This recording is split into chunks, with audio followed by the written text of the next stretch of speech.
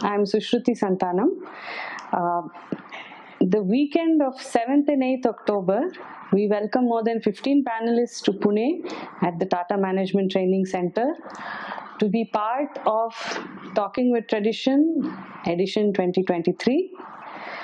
This year, as always, we're speaking on themes related to traditional Indian performing arts. We started talking with tradition with the idea that we will bring together young practitioners, senior experienced practitioners, and the community uh, of art listeners, enablers, organizations, and practitioners together in a conversation uh, to look at what ideas such as um, Paddhati, ideas such as patronage, um, and Shastra and experimentation mean uh, to the art communities.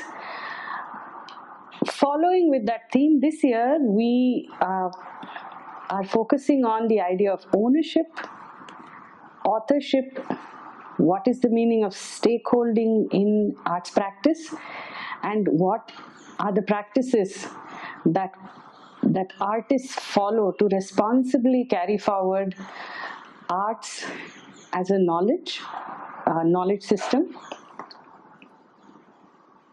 In this, we have this year included the challenges that are going to be brought in by newer ideas of ownership that today come to us in the form of uh, some legal provisions and laws such as the intellectual property right framework and copyrights and patenting and so on.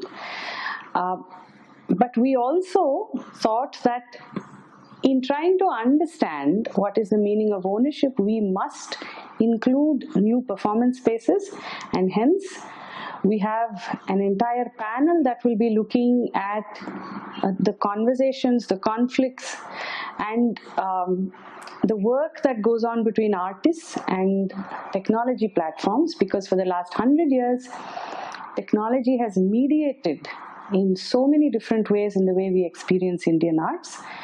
So all of this is going to be part of our conversation between artists, scholars, people who have founded and managed tech platforms, people who work on AI and uh, IP practitioners and legal uh, professionals who will be coming in and weighing in on their own domains of work, from their own domains of work, their opinions, and uh, the way to move forward in this conversation.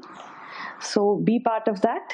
Uh, if you are in Pune, we are also live streaming uh, the panels and the sessions over the over the uh, two days, 7th and 8th October and um, we would be happy to host you in Pune if you are here or join us through our live stream streaming link. Um, who are we? We are the Center for Arts, Society and Policy and uh, the team includes Dakshayani Athalye, Mandar Karanjkar and myself and we are extremely generously and ably supported by a wonderful team of volunteers from Baithak Foundation. So join us next weekend. Thank you.